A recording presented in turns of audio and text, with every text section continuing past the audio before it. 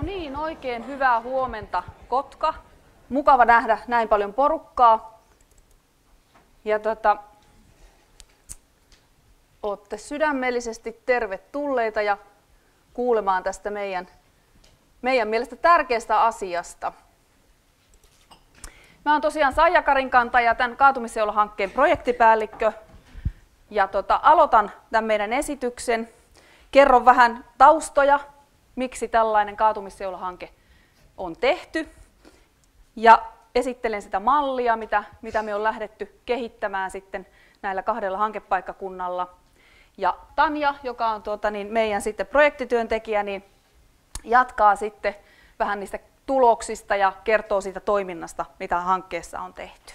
No aloitetaan siitä, että minkä takia just kaatuminen on se, mikä me on nostettu niin sanotusti tykun nokkaan. Että onhan paljon muitakin asioita, mitä ikäihmisiä ehkä koskettaisi. Ensimmäinen perustelu on se, että kaatuminen on tosi yleistä. Joka kolmas yli 65-vuotias kaatuu sen vähintään kerran vuodessa ja mitä vanhempiin ikäryhmiin mennään tai mitä huonompi kuntoisiin ikäihmisiin, niin sitä tyypillisempää se kaatuminen on. Ja toki meillä on sitten aika paljon sellaisia ikäihmisiä, jotka kaatuu enemmän kuin sen kerran. Kaatuu kaksi, kolme ja joku vaikka senpa 20 kertaa vuodessa. Ja toki mitä useammin kaatuu, niin sitä todennäköisempää on, että siinä kaatuessa myös jotakin sattuu. On arvioitu, että joka toinen kaatuminen aiheuttaa jonkinlaisen vamman, tyypillisemmin ehkä jonkun mustelman tai vähän, vähän lihaskipua, mutta sellainen joka viides, joka kolmas kaatuminen niin johtaa siihen, että, että täytyy sinne terveydenhuoltoon hakeutua, että sen verran vakavampi vamma tulee. Ja sitten ehkä siellä ihan ääripäässä niin meillä on edelleenkin ollut jo vuosia yli tuhat iäkkäiden kaatumiskuolemaa vuosittain, joista toki jokainen on ihan liikaa. No, silloin kun kaatumisista tulee seuraamuksia, vammoja, niin ne maksaa. Ja jos me ajatellaan pelkästään kaatumisista aiheutuvia sairaalahoitopäiviä, niin me puhutaan noin 400 miljoonan kustannuksista. Eli aika aika suurista määrästä. No sitten se positiivinen asia on se, että kaatumisia voidaan ehkäistä. Ei ole luonnonlaki, että ikäihmiset kaatuu, eikä ole luonnonlaki, että niitä kaatumisia sattuu niin paljon. Eli eri tutkimuksissa on pystytty erilaisilla toimenpiteillä vähintään joka viides, tyypillisesti joka kolmas ja joissakin tapauksissa jopa puolet kaatumisista ehkäisemään. Tällä hetkellä se tavallaan niin kuin tärkein näyttö, isoin näyttö on tuosta säännöllisestä liikuntaharjoittelusta. Ja se on nimenomaan väestötasolla se kaikista tehokkain keino ehkäistä kaatumisia. Ja siinä tärkeintä on se tasapaino ja vihasvoimaharjoittelu. Mutta silloin kun ihmisellä on paljon erilaisia kaatumisen vaaratekijöitä, ne voi olla sisäisiä, siitä ihmisestä itsestään riippuvia asioita, tai sitten siellä voi olla ulkoisia vaaratekijöitä. Mitä enemmän niitä vaaratekijöitä on, niin sitä tärkeämpää on, että koitetaan vaikuttaa, kartotetaan ensin, että mitä siellä taustalla, kaatumisten taustalla on, mitkä kaikki tekijät siihen vaikuttaa, ja koitetaan vaikuttaa niistä mahdollisimman moneen.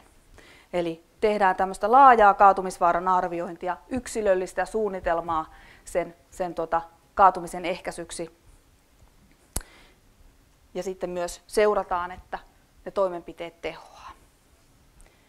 No, tällaisesta toimintamallista meillä on Suomessa erittäin hyvä esimerkki, ja se on Kaosklinikka, UKK-instituutin tutkimuspohjainen näyttö, jossa nimenomaan tämmöisellä kokonaisvaltaisella kaatumisvaaran arvioinnilla ja yksilöllisellä ehkäisyohjelmalla voitiin vähentää joka kolmas kaatuminen ja kaatumisvamma. Nimenomaan kotona asuvilla ikäihmisillä, jotka oli suurentuneessa kaatumisvaarassa. No, meidän näkökulmasta ja nimenomaan niin tutkijoiden näkökulmasta näyttö on jo aika kiistatonta siitä, että, että on paljon keinoja, millä me voidaan kaatumisiin vaikuttaa. Ja me ollaan ehkä vähän naivisti kuviteltu, että kyllähän ne ihmiset vaan ottaa ne toimintatavat käyttöön ja ne jotenkin lipuu vaan sinne terveydenhuoltoon sosiaalipuolelle ja ehkä sinne kolmannen sektorin toimintaankin, kunnes tajuttiin sitten, että eihän se niin tule menemään. Ihmisillä on niin paljon erilaisia asioita huomioitivana ja, ja tuota, on vaikea suoraa tutkimuksista siirtää, siirtää se tieto sinne käytäntöön. Eli siihen väliin tarvitaan jonkinlaista tämmöistä fasilitointia ja sovittamista, miten se to, sopii sinne olemassa oleviin rakenteisiin, mitä uutta ehkä pitäisi luoda ja millä tavoin. Ja niinpä me on sitten tehty tämmöinen kaatumisseula-hanke, jonka se kärki on siinä, että me halutaan vähentää kaatumisvammoja iäkkäiden arjessa. Meidän rahoittaja on ollut raha-automaattiyhdistys, eli tämä on kolmenvuotinen hanke. Ja me ollaan kolmella tasolla toivot, tuota, toimittu, eli meidän kohderyhmänä on ollut iäkkäät.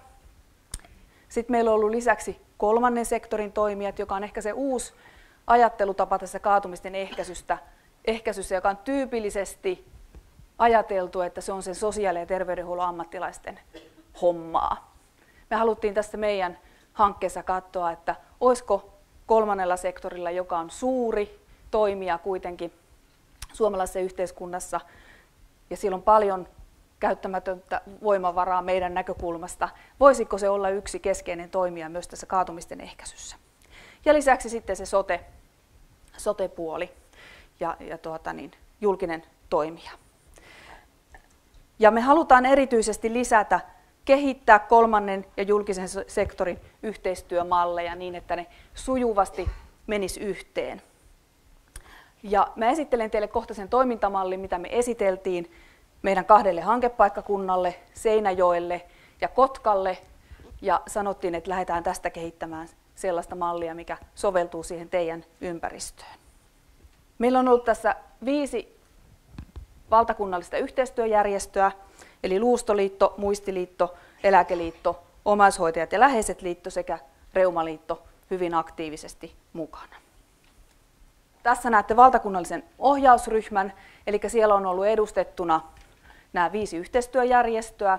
Sen lisäksi meillä on ollut edustus Terveyden ja hyvinvoinnin laitokselta, eli kehittämispäällikkö Satu Pajala on ollut meidän puheenjohtaja. Lisäksi meillä on ollut edustettuna Ikäinstituutti.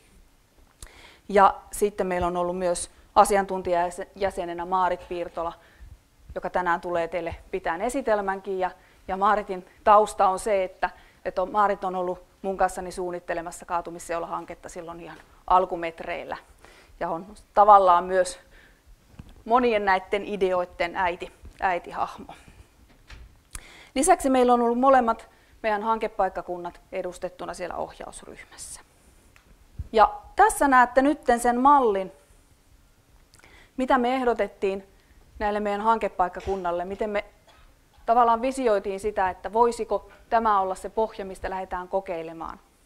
Ja se ajatus on siinä, että jotta me tiedetään, mikä on järkevä tapa ehkäistä kenenkin ikäihmisen kaatumisia, niin meidän täytyy ensin tavallaan seuloa, eli pystyä määrittelemään, että onko se yksilön kaatumisvaara, onko se suuri vai pieni.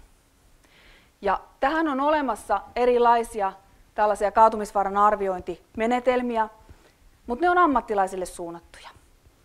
Esimerkiksi ikinaoppaasta löytyy hyviä THLn tuota niin, suosittelemia muutamaan kysymykseen perustuvia malleja, mitä toki ollaan tässä ammattilaisille suositeltu. Mutta se, mikä tavallaan puuttu, niin oli se, että mitä se kolmas sektori voisi hyödyntää, mitä ne ei-ammattilaiset. Ei ole olemassa mitään semmoista itsearviointi, itsearviointiin perustuvaa kaatumisvaaran arviointia. Ja senpä takia me sitten tässä meidän hankkeessa aloitettiin sillä, että, että me kehitettiin tämmöinen itsearviointiin perustuva kaatumisvaaran arviointi, mitä ollaan samalla tässä myös sitten meidän hankkeessa testattu. No ideana on se, että sitten kun tiedetään jollakin tasolla karkealla arvioinnilla, että näyttäisikö se kaatumisvaara olevan suuri tai pieni, niin ihminen ohjautuu eri polulle. Eli ajatuksena se, että ei ole mitään järkeä ampua tykillä hyttystä, jos pienemmilläkin toimenpiteillä päästään, se on ehkä resurssien hukkaamista, ja sitten toiselta on edesvastuutonta jättää reagoimatta suunniteltuissa kaatumisvaarassa oleviin henkilöihin. Eli jos karkean kaatumisvaaran arvioinnin perusteella todetaan, että tilanne on aika hyvä, ei ole selkeitä kaatumis, kaatumisvaara ei ole selkeästi kohonnut, niin silloin ajautuu tänne polulle yksi, jossa tavoitteena on että se toimintakyky pysyy edelleenkin hyvänä ja kaatumisia ehkäistään. Kaatumisia sattuu myös hyväkuntoisille ikäihmisille. Ja siihen meillä on paljon erilaisia keinoja, aktiivisuuden tukeminen, se liikunta, niin kuin muistatte, liikuntaharjoittelu oli se keskeisin keino, ja erilainen yleinen neuvonta niistä keinoista, että mitä kaatumisia, kaatumisia voitaisiin ehkäistä. Ja tässä me nähdään nimenomaan sitä roolia sillä kolmannella sektorilla, koska he tavoittaa niin paljon sitä hyväkuntoista ikäihmistä, jotka pystyy tekemään asialle jotakin tässä vaiheessa jo, kun ei olla vielä huonossa kunnossa. No sitten kun havaitaan se, että kaatumisvaara onkin kohonnut, niin silloin oli tärkeää, että sitä tilannetta tarkastellaan. Tehdään se laaja-alainen arviointi siitä kaatumisvaarasta ja mietitään ne toimenpiteet.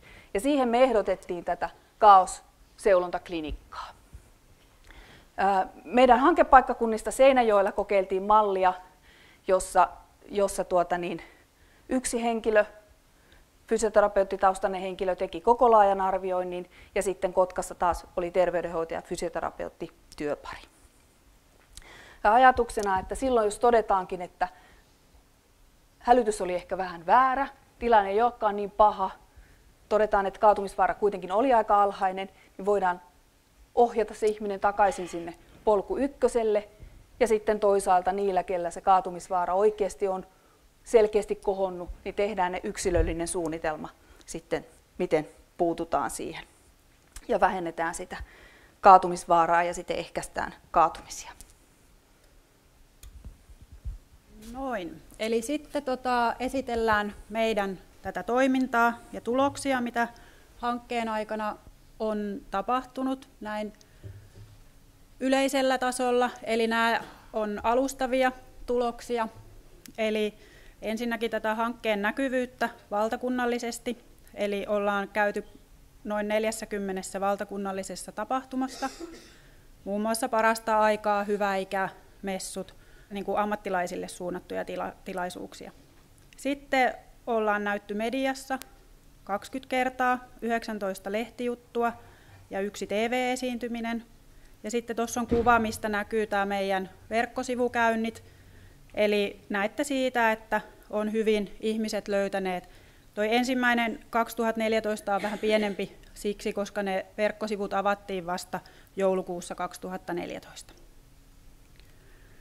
No sitten ihan näillä paikallistasolla tämä toiminta, eli hankepaikkakunnilla Seinäjoella ja Kotkassa on ollut paikallisia työryhmiä, jotka ovat kokoontuneet tuolla 19 kertaa Seinäjoella ja Kotkassa 13 kertaa.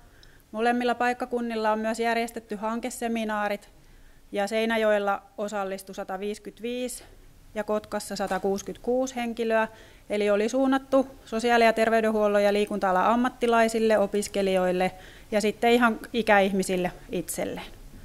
Sitten meidän hankekoordinaattorit, eli Anu Takala täällä Kotkassa ja Seinäjoella alkuun oli Sarika Kivimäki ja sitten Anni Kuivinen hankkeen loppupuolella, niin on järjestetty paljon tapahtumia, joissa on ollut tosi hyvin osallistujia. Ja sitten tätä karkeata kaatumisvaaran arviointilomaketta, mikä hankkeessa tuotettiin, eli sitä esiseulontaa, kun näkyy siinä äskisessä siinä malli, mallislaidissa, niin sitä, se oli sellainen jäljentävä, jäljentävä se paperi, ja me ollaan niitä saatu noin 1500 kappaletta palautunut UKK-instituuttiin, eli niistä saadaan sitten hyvää tietoa myöskin. No sitten vielä tästä hankkeen näkyvyydestä. Eli siellä näkyy toi meidän hankkeen kolmen materiaalin sarja ja sitten toi kaatumis, karkea kaatumisvaara arviointilomake ja muuta materiaalia, mitä tässäkin oli, oli teille tarjolla. Niin kolmena hankevuotena ollaan yhteensä jaettu sitä aika iso määrä, mitä on kaatumisseulan logolla lähtenyt materiaalia eteenpäin. Eli tämä tiedetään siksi, että me ollaan laitettu Exceliin jokainen materiaali laskettu aina, kun ollaan niitä johonkin tapahtumiin viety. No sitten ihan näitä tämmöisiä paikkakuntakohtaisia tuloksia. Tässä löytyy, me ollaan tehty myöskin väestöotoskysely, eli noin tuolle 10 prosentille paikkakunnan ikäihmisistä. Lähetetty silloin hankkeen alussa ensimmäinen kysely, ja sitten ensimmäiseen kyselyyn vastanneille lähetettiin myöskin sitten vielä seurantakysely. Ja siitä näkyy taulukosta, että eniten siellä miehet ja naiset tuossa 65-74 ikäluokassa ja sitten naiset 75-84 ikäluokassa niin vastasivat kyselyyn. Ja nämä on, on, ainakin me ollaan pidetty, että on tosi hyvät vastausprosentit näissä, näissä tota, väestöotoiskyselyissä. Sitten siinä toistokyselyssä kysyttiin muun muassa kysymys, että oletko kuullut, haluttiin tietää, että miten tämä hanke on, on tavoittanut ikäihmisiä paikkakunnilla, niin 53 prosenttia vastanneista oli kuitenkin oli kuullut jollakin tavalla tästä hankkeesta. Eli sillä ollaan hyvin tavoitettu myös sitä kohderyhmää.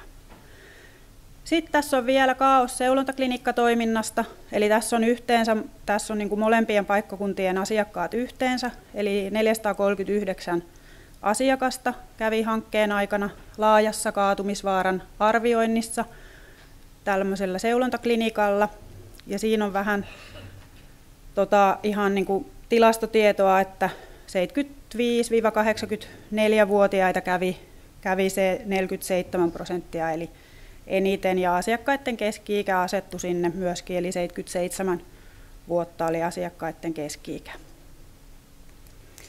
Ja tässä on sitten nähtävissä tätä, tätä pisteytystä, eli siitä laajasta kaatumisvaaran arvioinnista 0-58 pisteeseen oli se, se pistemäärä, minkä siitä voi saada.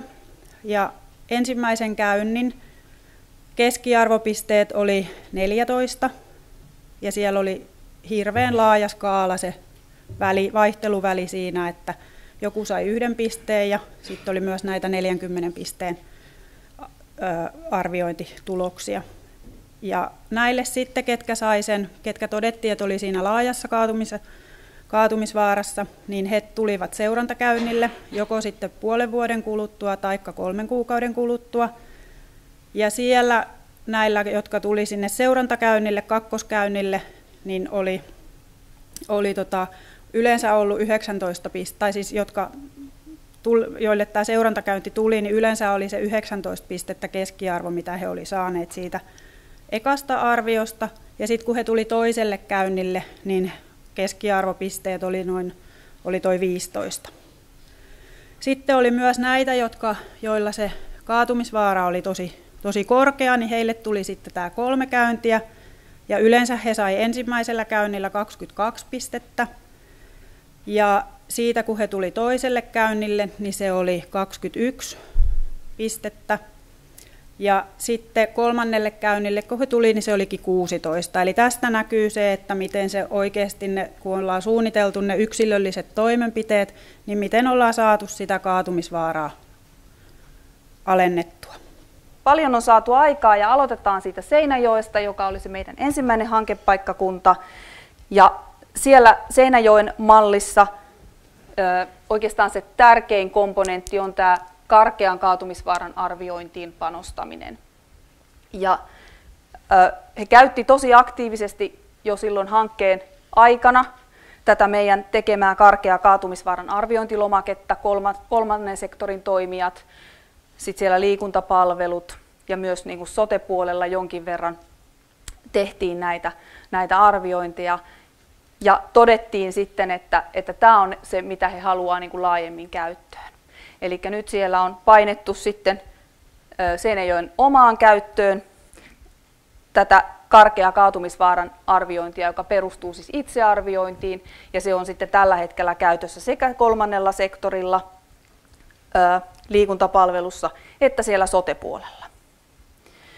Lisäksi samaan aikaan tämän meidän kehittämishankkeen kanssa niin, niin tuota Seinäjoella kehitettiin kotihoitoa ja palvelutarpeen kartoitus asiakkaiden tavallaan tätä kirjaamiskäytäntöä ja siellä otettiin aika laajallisesti käyttöön tätä RAI-arviointia, niin sitä on myös viety nyt sitten tätä kaatumisten ehkäisy ehkäisyyn liittyviä ja kaatumisvaran arviointiin liittyviä kysymyksiä osaksi sitä RAI-arviointia. Eli sitä kautta myöskin sitten löydetään niitä ihmisiä, ketkä on suurentuneessa kaatumis, kaatumisen vaarassa.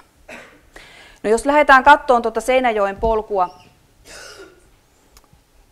yläpolkua, eli silloin kun niitä kaatumisen vaaratekijöitä ei ole, ei ole kovinkaan paljon, niin siellä hankkeen aikana tuli hyviä yhteistyökuvioita. Siellä esimerkiksi Eläkeliitto perusti tämmöinen kaatumistop-ryhmän sinne Ylistaroon, mikä on yksi Seinäjoen osa. Eli he kokeili sitä, että mitä tarkoittaa, kun sitten kolmas sektori on mukana ihan myös järjestämässä niitä, niitä liikuntaohjausmahdollisuuksia. Ja sinne on jäänyt hyviä, hyviä malleja sitten siihen. Lisäksi he on tosi aktiivisesti käyttäneet tätä meidän tuottamaa materiaalia, eli sekä, sekä siellä kolmannen sektorin toimijoilla että, että sitten sinne sosiaali- ja terveydenhuollon puolelle niin on tätä materiaalia otettu käyttöön. Ja lisäksi Seinäjoki on tässä rinnalla kehittänyt liikuntaneuvontaa, joka sitten on hyvin soveltuu tähän osaksi tätä mallia sitten. Eli niin kuin jälleen kerran muistutan, niin se liikuntaharjoittelu on keskeinen osa kaatumisten ehkäisyä, niin silloin iäkkäiden liikuntaneuvonta on keskeinen ehkäisykeino. No sitten minkälaiseksi muodostui tämä alamalli, eli niin kuin kerroin, niin Seinäjoella kokeiltiin kaosklinikkaa sillä lailla, että yksi henkilö tekee sen laajan arvioinnin ja se koettiin aika haastavaksi. Eli selkeästi siinä tarvittaisiin työparia tai sitten siinä tarvittaisiin konsultointimahdollisuutta. Että se on yhdelle ihmiselle tehtäväksi kohtuullisen haastava. Seinäjoelle ei jäänyt klinikkatoimintaa niin kuin klinikkana käyttöön, vaan siellä päädyttiin siihen, että, että sitä laajaa kaatumisvaaran arviointiosaamista viedään sinne rakenteisiin ja, ja tuota, siellä on koulutettu fysioterapian puolen, että sitten ikäkeskuksen, eli ikäkeskuksen alla on tämä kotihoito ja, ja sitten tämä palvelutarpeen arviointi, niin siellä henkilöitä. Ja sen takia tämä loppuosa näyttääkin juuri siltä, että riippuen siitä, että minkä palvelun piirissä jo olet, niin toimenpiteet menee sitten sen mukaan. Ja hyödynnetään sekä, sekä sitten sitä RAI-järjestelmää että sitten fysioterapiassa, fysioterapeut, erityisesti fysioterapian keinoja. Ja sitten he, ketkä ei ole näissä järjestelmissä mukana, niin, niin sitten tuota, kaatumisten ehkäisyyn reagoidaan sitten sen omahoitajan tai lääkärin kautta. No sitten Kotkan malli näyttää hieman erilaiselta ja se oli tavallaan se meidän ajatuskin. Ei ole Suomessa samanlaisia kuntia, eli hankkeen ajatuksena oli, että me todennäköisesti saadaan erilaiset mallit, niin kuin saadaankin, mitä sitten muut paikkakunnat voi miettiä, että mikä sopii heille. Kotkan malli myötäilee enemmän sitä, mitä me tavallaan alun perin ehdotettiin. Eli niin kuin huomaatte, sinne on jäänyt klinikkatoimintaa. Jos aloitetaan kuitenkin täältä karkeasta kaatumisvaaran arvioinnista, niin myöskin Kotkaan tämä itsearviointilomake koettiin hyödylliseksi. Ja sitä hankkeen aikana käytti kolmas sektori liikuntatoimi ja jossain määrin myös sotepuoli ja sinne se tulee jäämään myös käyttöön. Mutta sen lisäksi sotepuolella on sitten otettu käyttöön tai ollaan ottamassa käyttöön, eli mietitään mikä, mikä siellä nimenomaan omaan yksikköön parhaiten toimii, niin nämä THLn suosittelemat ikinä oppaasta löytyvät lyhyet ammattilaisille suunnatut karkean kaatumisvaran arvioinnit, eli FRAT ja FROPCOM, joka toinen on kotona asuville iäkkäille ja toinen enemmän laitospuolella. Nämäkin löytyy maksutta THLn sivuilta, jos kiinnostuitte näistä. Ja jälleen kun mennään tuonne yläpolulle, niin voin sanoa, että erityisen ilahtunut Kotkan kohdalla olen siitä, kuinka tavallaan se kolman, kolmannen sektorin ja, ja tuota niin, julkisen puolen kaupungin välinen yhteistyö oikein niin kuin heräsi ku, ku, kukoistukseen niin kuin tässä ja löydettiin todella monia mahdollisuuksia tehdä yhteistyötä ja, ja miettiä sitä sen asiakkaan kannalta, että mihin, mihin häntä ohjataan esimerkiksi liikuntaharjoitteluun. Ja sinne jäi, jäi todellakin paljon erilaista toimintaa ja myös tämä meidän materiaali on ahkerassa käytössä sitten siellä sekä kolmannen sektorin toiminnassa että sitten esimerkiksi liikuntatoimessa. Ja sitten tämä järjestelmä kehittyi niin Kotkassa, että, että sitten oli se sitten kolmannen sektorin toimija, oli se iäkäs itse, oli se omainen tai oli se sote-toimija, joka havaitsee, että hei, nyt tämä kaatumisvaara saattaa olla tällä henkilöllä nyt vähän suurempi, niin on matalan kynnyksen. Me aloitettiin kaosklinikka nimellä, mutta kotkalaiset totesivat, että tämä kaatumisseulaklinikka on se, mikä heidän suuhun sopii parhaiten ja ihmiset tuntee sen ehkä sillä nimellä parhaiten, niin he voi ottaa yhteyttä sinne kaatumisseulaklinikalle ja päästä sitten tähän laajaan kaatumisvaaran arviointiin. Ja edelleen niin, niin kuin me ajateltiinkin näitte niistä Tanjan näyttämistä pistemääristä, että klinikalle aina tulee myös sellaisia asiakkaita, joilla se kaatumisvaara onneksi ei olekaan kovinkaan suuri. Niin silloin on se hyvä väylä, mistä me päästään ohjaamaan tänne nimenomaan kolmannen sektorin ja liikuntapalvelujen huomaan. Ja sitten silloin, kun se on se kaatumisvaara suurempi, on se toinen käynti. Eli tärkeintähän on siinä vaiheessa, kun huomataan, että kaatumisvaara on suurentunut, katsotaan mikä, mitä siellä taustalla on, mietitään mitkä ne toimenpiteet on, niin on myös tärkeää kontrolloida sitä, että mitä, mitä tapahtuu. Onko se ihminen tehnyt niille asioille jotain, onko siinä vaatinut lääkärin käyntiä, onko siellä asiat edenneet ja miten se näkyy sitten siinä kaatumisvaarassa. Ja sen takia täältä menee tämä katkoviiva sitten, että se kontrollointi on nimenomaan siellä kaatumisseula klinikan käsissä, joka hoitaa sen, sen seuranta-asian, että asia, asian kanssa edetään. Mutta sen takia se on katkoviiva eikä tuommoinen tommonen katkeamaton viiva, että kun me puhutaan toteutuksesta, niin silloin se ei koskaan ole yhden klinikan tai yhden tai kahden henkilön vastuulla, vaan se toteutus niistä toimenpiteistä on koko tämän kentän vastuulla. Hyvä. Minä katson kelloa, että olen käyttänyt aikani. Kiitän oikein kovasti teitä mielenkiinnosta.